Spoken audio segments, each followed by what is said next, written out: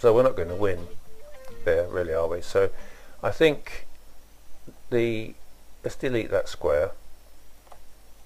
What we need to do is get a better shape here. So what I'm going to do is I think untrim. So that's uh, Shift R, and then I'm going to detach the curve on surface there and there. So for that I need to zoom in, hit spacebar,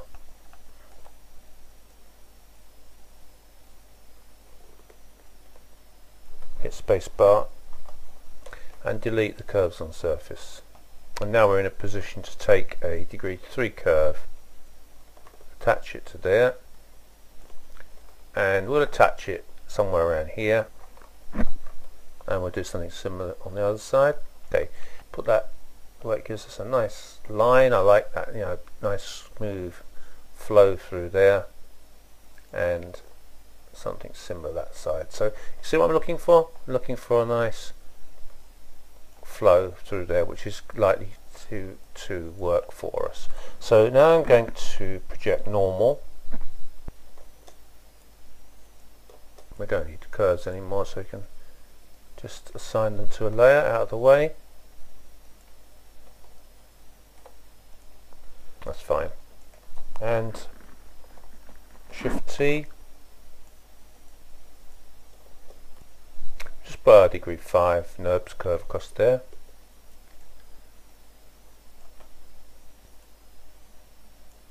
Okay and we can build our square now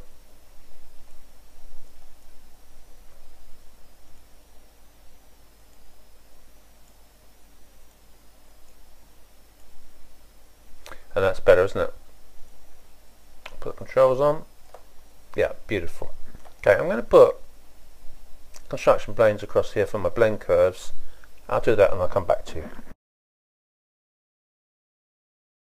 I've put these two curves in now and put the comb on and I'm comparing them with that curve and you can see they all look very similar don't they? So that's important.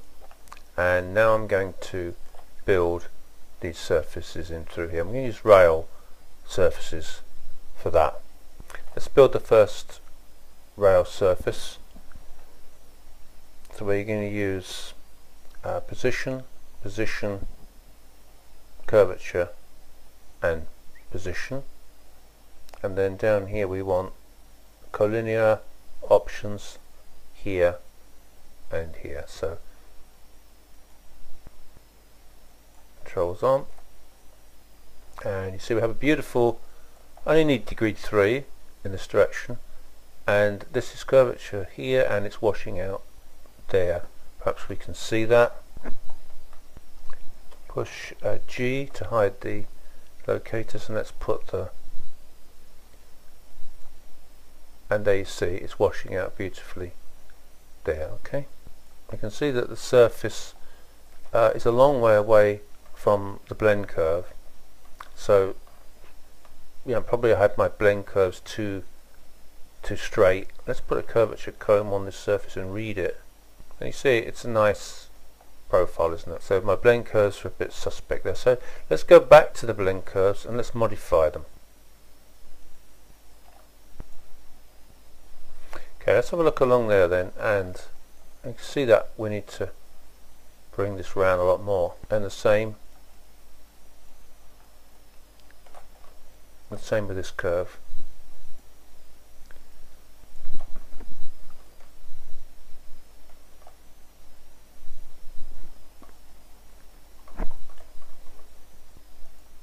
We need to look at what's going on here.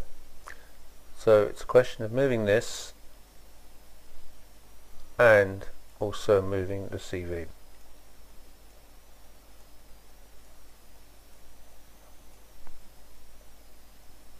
so look at this that, and they're looking similar now aren't they? So let's do this curve as well.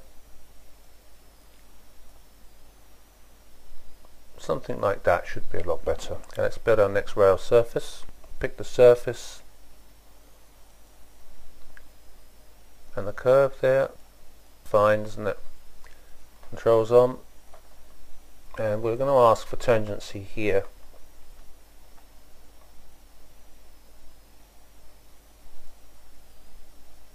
and you see if we ask for that it throws us out there. So I think we'll stick with position for the moment. I'm going to have to do some direct modeling in a minute. And we've got maximum degree 7 there, we can't do anything else there. But we could go to degree 5 here and I think we will do that. We need degree 5 here so we can build the rest of these surfaces in this surface set. Let's build this one, build to the rail surface looking nice at this point you're looking to see if the hulls are running along nicely in line. If they're not, you have to modify the uh, points on the on the curve.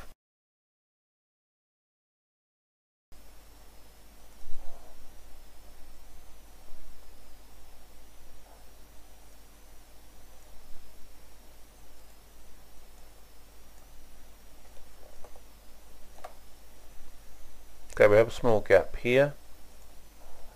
It's a little bit of work to do to go along and finish off these boundaries here. Connect them and achieve tangency there by direct modeling turn off the model a second. Pick nothing. Hide the construction planes. And there it is.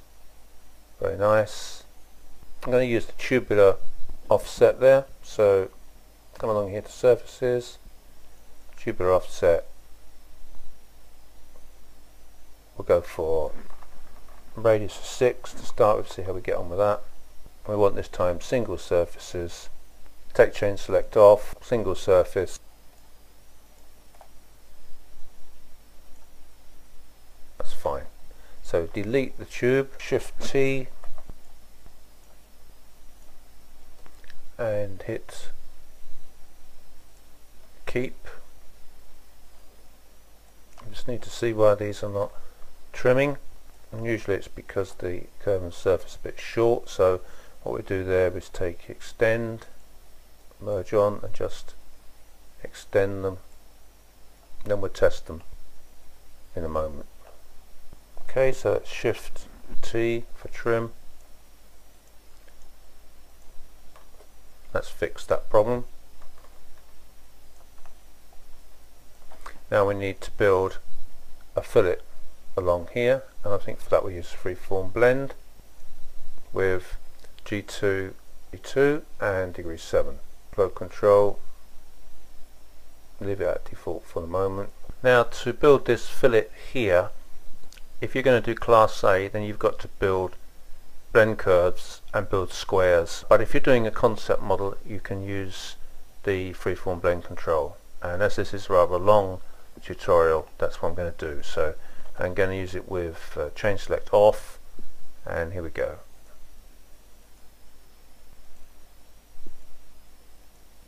Any small curvature conditions like that you can resolve with the align tool or even direct modeling okay I'm going to just query edit that one. And I'm going to go for underflow control end edge align and you see that's given me a much better result there.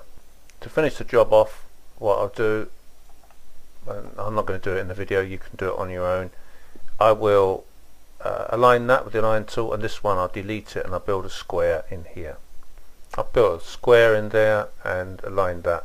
And now you can see that we have a really nice feature that we've created there with a complex blend bringing our blend down through here broadening it out washing it out completely there's no trace of it look whatsoever. And this wonderful boomerang feature here in the light catcher so I hope that you've enjoyed this video. It's been rather long. I apologize for that but it's a lot to cover and hope that you can incorporate it in your own personal workflow